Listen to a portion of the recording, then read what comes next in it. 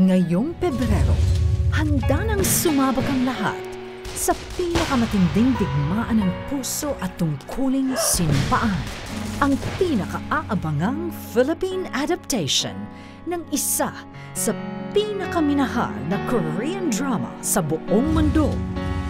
Ang pinakamalaking pasabog ng GMA sa prime time ngayong 2020. Stable na ang vital signs ng pasyente. Target is secured. Pwede niyo na i-close yung wound. Copy. Descendants of the Sun, the Philippine adaptation. Pinagbibidahan nina Jeneline Mercado at Dingdong Dantes. Bilang sinak Dr. Maxine de la Cruz alias Beauty at Captain Lucas Manalo alias Big Boss. Si Captain Lucas ang leader ng Alpha Team. Tapat sa sinumpaang tungkulin at misyon, ipagtatanggol niya ang bayan. Buhay niya man ang kapalit. Alright, team. This is it. Courage and determination. Ah!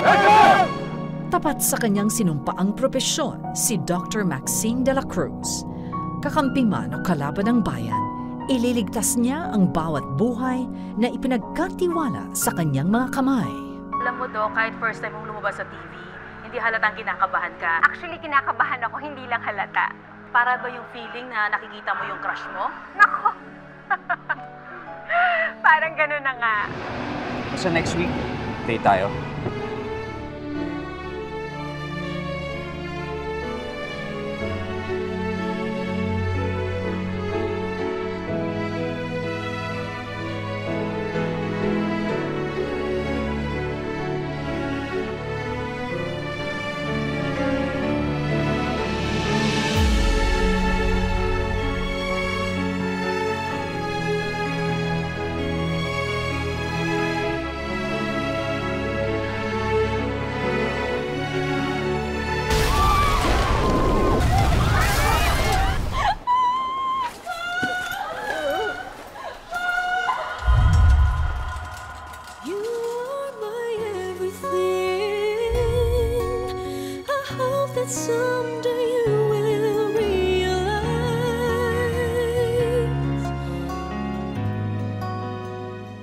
Kasi siya ng First Special Forces ng Philippine Army.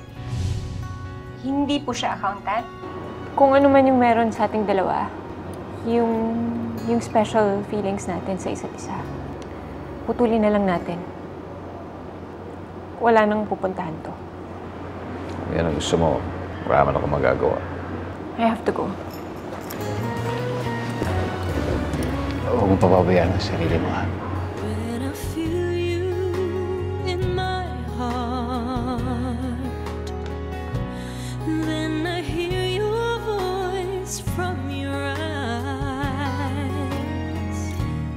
Gusto kong ipaalam sa iyo, Captain Manalo, that your request to be reassigned has been granted. Sa bayan ng Urdan, sa Visayas, the center of gravity kung saan nagtatago ang PRG. Si Doc Maxine. Hindi mo tinawagan? Ayaw ko na rin ipilit eh. Kung ayaw, de, wala na tayong magagawa siguro doon. Doc? Sasama ka? For a change. Tsaka dati naman akong doctor to the barrio, di ba? Noong nagsisimula pa lang ako. Sa pagtugon sa kanilang mga tungkulin, magtatagpo ang kanilang mga landas. At ang kanilang mga pusong paulit-ulit na paglalayuin. Gusto ko siyang saksakin! Ako talaga nagigigil ako! On three, Three? bilang ka. One. Ah, ako bibilang? Hindi, sila. Hindi, ikaw, syempre. Game, game. One. One? Ah! Kaya mo ba siya iligtas? Kaya ko. Gawin mo! Ang tungkulin ni Captain Manalo ay sumunod sa orders mula sa taas. Pero ang ginawa niya, sinuway niya dahil sa operasyon mo. Bakit naman hindi mo sinabi sa akin? Sana pinigilan mo man lang ako. Eh di sana wala ka dyan ngayon. Or pwede naman. Kaya alam ko lang hindi ka mapapalagay kung hindi mo tinulungan yung taong yun. Dalawang taong magkaiba ang misyon at paniniwala. Buhay ko na na tumulong sa mga tao. Tungkulin ko rin yun bilang doktor. Kaya kung sino man yung mga nangangailangan, nandito lang ako para sa kanila. Doon ako pupunta. Isang digmaan sa pagitan ng puso at ng sinumpaang tungkulin. Ganun yata talaga na kahit ano gagawin mo no, para sa babaeng gustong gusto mo. Baliw na baliw talaga. Ibang klase. Tao lang tayo. Kakamali. Sasaktan. Nagmamahal. Kung iniiwasan mo ko, dahil yan ang utos ng daddy ko, ang commanding officer natin, dahil nire-respeto mo siya, at dahil utang na loob mo ang buhay mo sa kanya, sana isipin mo yung unang araw na sinabi mo sa akin na mahal mo ko. Kasi kahit kailan, hindi ko yun malilimutan. Kasama sina Rocco Nesino bilang Technical Sergeant Diego Ramos. Ikaw ang pinakamatapang na babae na kilala ko. Hindi ka dapat umiiyak dahil sa akin. Kaya kung nasasaktan ka lang, Moira, iwan mo na ako. Jasmine Curtis Smith bilang Captain Moira Defensor. Sinubukan ko namang gawin yung gusto mong mangyari, pero hindi effective. Gusto ko lang masigurado na okay ka. Kaya ko naman. Mahal na mahal kita, Diego. Kahit ano pang gawin mo, kahit anong sabihin mo, paglalaban ko yung nararamdaman ko sa'yo. Ang dalawang sundalong may pag-ibig na dapat ipaglaban. Ang medical team, Andre Paras bilang Dr. Ralph Vergara. Pagkatapos ng lahat ng pinagdaanan natin, deserve na deserve natin to. Guys, let's all enjoy life. Cheers! Cherise Solomon bilang Nurse Emma Perez. Ito hindi naman sa nangingialam ako ah. Pero si Captain Lucas ba? Yun ba yung ano, nanligaw sa'yo dati? Oo. Ayoko naman makita yung pagmumukha niya. Pero sayang naman, nandito ka na eh. Renz Fernandez bilang Dr. Earl Jimeno. Hindi namin kakayanin kung wala ka. Pasensya na talaga kayo ah. Naintindihan ka namin, pati mga personal concerns mo. Ang importante nandito ka ngayon. Pancho Magno bilang Dr. Danielle Spencer. Okay tong shop mo ah, 3-in-1. Para fast and convenient yung service.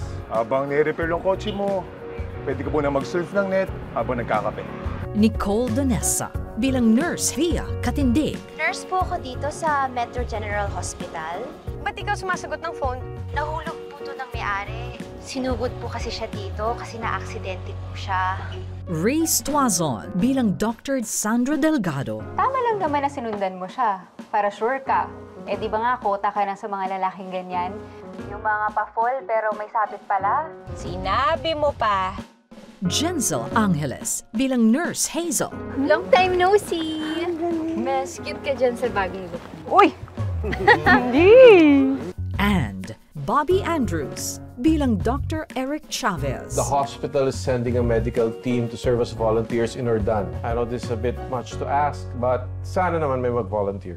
Ang military team, Ricardo Cepeda bilang Carlos Defensor. And if you value and respect all the help I gave you in the past, susundin mo ko. Iwan mo ang anak ko. Paul Salas bilang Marty Taliedo. Ikaw yung snatcher? Oops! Snatcher. Turned military. Marty Toledo po, at your service.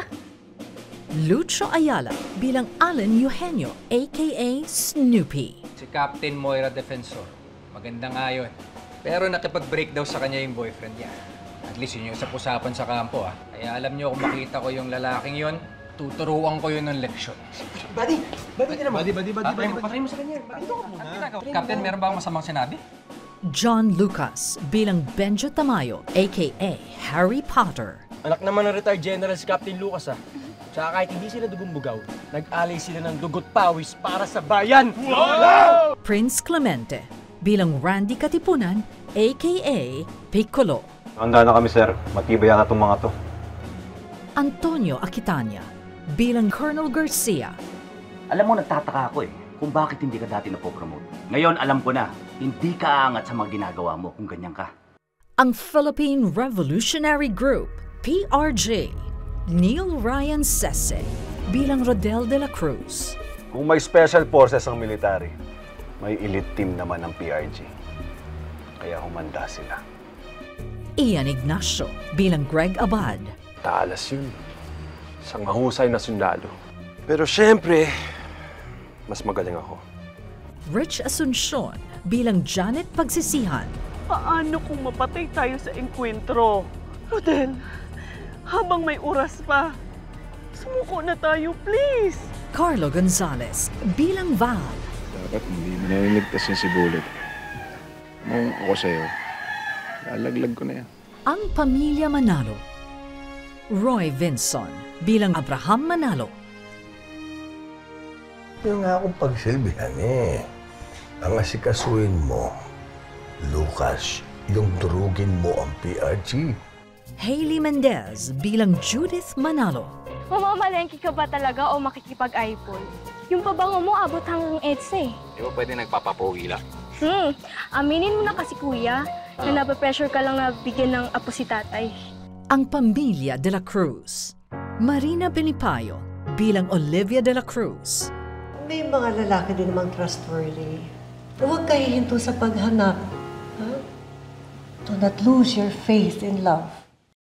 At sa natatanging pagganap nina Mike Pecto Nacua, Tonton Gutierrez, Sophie Albert, Gabby Eigenman, Andrew Schimmer, Sue Prado, Kim Rodriguez, Adi Raj, Ronnie Henares, Mark Heras, Huwag ka magselos, okay?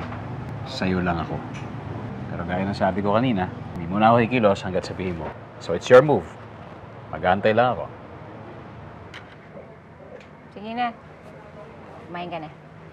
Libre ko na yan. Ipinagmamalaking inihahandog ng GMA Entertainment Group, Lilibeth G. Rasanable, Head of Entertainment Group, Reggie Acuna Magno, Executive in Charge of Production, Cheryl Ching C., Supervising Producer, Ali Nocom Dedicatoria, Senior Program Manager, Winnie Hollis Reyes, Senior Executive Producer, sa direksyon ni Dominic Zapata.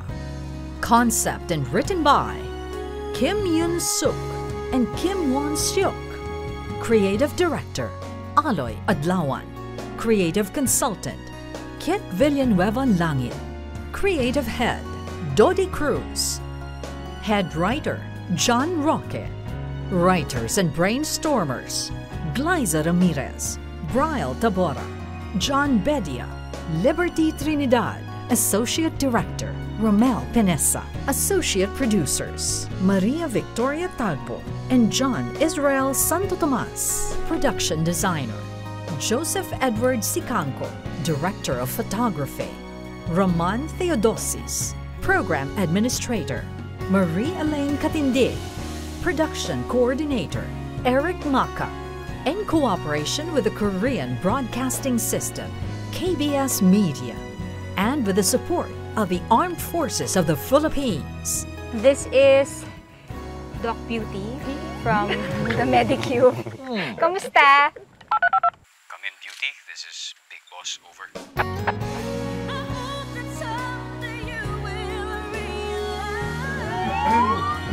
Nax, bagay ah.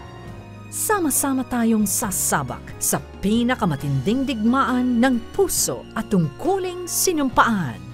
Ito ang pinakaaabangang Philippine adaptation ng isa sa pinakaminahal na Korean drama sa buong mundo. Descendants of the Sun, the Philippine adaptation. February 10 na sa GMA Telebabad. Kaya mo sa susunod, hindi ko na nakawit yun. At lalong hindi kita bibiglayin. Kasi tayo na. Wow!